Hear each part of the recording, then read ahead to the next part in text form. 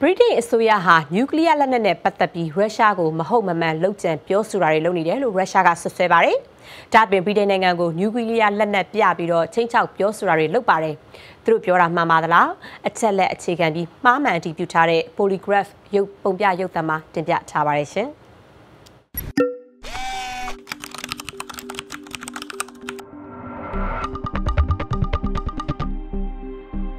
ဗြိတိန်ဟာရုရှားရဲ့မရှိတဲ့နုမြူလက်နက်အန္တရာယ်ကိုလှုပ်ကြံပြီးတော့ဆွဆွဲနေတယ်လို့ရုရှားနိုင်ငံသားရေးဝန်ကြီးဌာနပြောခွင့်ရသူကဇွန်လ26ရက်နေ့မှာပြောလိုက်ပါတယ်။ Mario Zakharova Telegram စာမျက်နှာမှာရေးထားတာက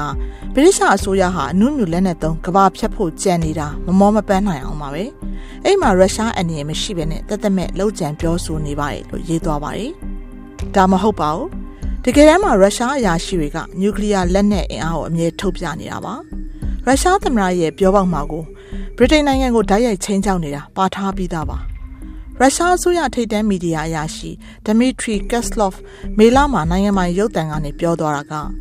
တစ်ချက်လေးပြစ်လိုက်ရုံနဲ့ဘော်ရစ်ရောအင်္ဂလန်ရောအကုန်ကုန်သွားမယ်တခါတည်းနဲ့ပြတ်ရောလို့ဖြစ်ပါတယ်ကက်စလော့ဖ်ကဗြိတိန်ဝန်ကြီးချုပ်ဘော်ရစ်ဂျွန်ဆန်ကိုပြောသွားတာပါအင်္ဂလန်နဲ့အိုင်ယာလန်တို့ဟာပ င်လယ်ရေအောက်မြုပ်သွားမယ်ရင်ခုတ်တင်မောကနေအနုမြူထုံးနဲ့တစ်ချက်ပစ်လိုက်တာနဲ့ရေဒီယိုတက်တိကြွပြီးဘာမှသုံးမရတဲ့နေရာကြီးဖြစ်သွားအောင်လုပ်နိုင်တယ်လို့ကက်စလော့ဖ်ကပြောပါတယ်ရုရှားရဲ့ထိပ်တန်းဥရေပြုအမတ်တွေကလည်းအလားတူချိန်ချောင်းမှုတွေလုပ်ပါတယ်ရုရှားတပ်မှုဟောင်းအန်ဒရီဂရူလော့ဖ်ကနျူကလ িয়ার စစ်ပွဲဖြစ်ရင်ပထမဆုံးပြစ်ခတ်ထိမှကလန်ဒန်ပဲလို့ပြောပါတယ်စမစ်ဒုံးကြီးဒဇင်းနဲ့တင်ဗြိတိရှကျွန်းလေးတွေပျောက်သွားလိမ့်မယ်လို့ရုရှားအမျိုးသားရေးဝါဒီပါတီခေါင်းဆောင်အလက်စီယူရလော့ဖ်က ဧပြီလကပြောပါတယ်ဖင်လန်နိုင်ငံဆိုရင်10စက္ကန့်အတွင်းအနုမြူပြမှုံဖြစ်သွားလိမ့်မယ်လို့သူကပြောပါတယ်ရုရှားကယူကရိန်းကိုဖေဖော်ဝါရီလ24ရက်နေ့ကစပြီးတော့ဝင်တိုက်ပြီးတဲ့နောက်ရုရှားကနျူကလ িয়ার တပ်ဖွဲ့တွေကိုပူတင်ကတက်လှန့်ထားတာပါ။နောက်9လကြာတဲ့အခါမှာတော့နျူကလ িয়ার ထိပ်ဖူးတက်ဆင်နိုင်တဲ့ cruise ဒုံးကြီးကိုသူကျိုးဆွဲရကားတဲ့ Belarus နိုင်ငံကိုပို့မယ်လို့ပူတင်ကပြောထားပါတယ်။